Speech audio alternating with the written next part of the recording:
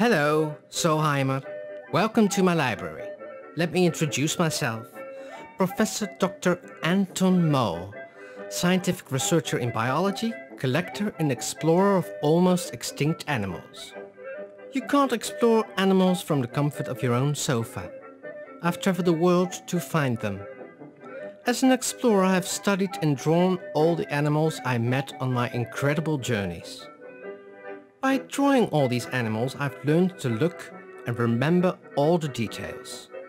Today I want to share my meeting with a very special animal.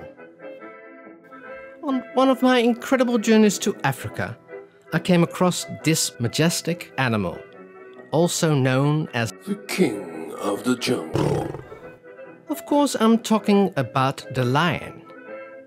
There are two kinds of lions the African lion and the Persian lion, also known as the Asian lion.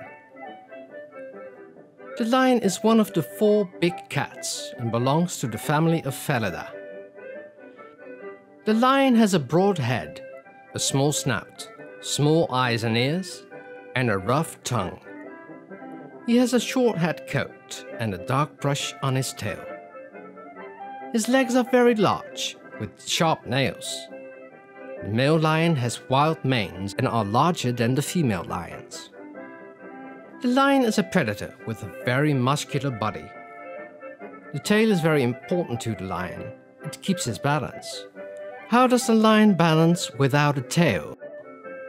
Well, like so. By looking at his tail, you can see what mood the lion is in. How does the lion's tail swing when he's happy? Like so. And how does the lion's tail swing when he's angry? Well, like so. His paws have soft pads, which helps the lion to sneak silently. They are also shock absorbers.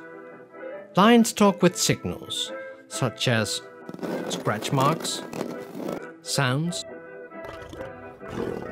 and certain odors. Well, like so. Young lions are called cubs. They drink from their mother because lions are mammals. The cubs learn to walk soon. How does the lion move her cubs? Well, like so. She grabs the cubs by the nape of their neck. Lions live in groups called pride. The lion protects the female lions and cubs.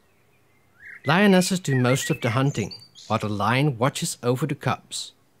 They hunt for zebras, wild beasts, buffalo, and warthogs. Most lions now live in eastern and southern Africa. It's not sure how many lions still live in the wild. Between 16,000 and 47,000 in Africa. In India, only 320 lions. The lion is an endangered species. If we don't protect them, they will all die. This is why they are kept in protected areas. So, I hope you've learned something about the lion. Although they are very beautiful, they're also dangerous animals. Next time I will tell you something about another animal. If you like this video, you can give it a thumbs up. You can also subscribe to this channel. How do you do that?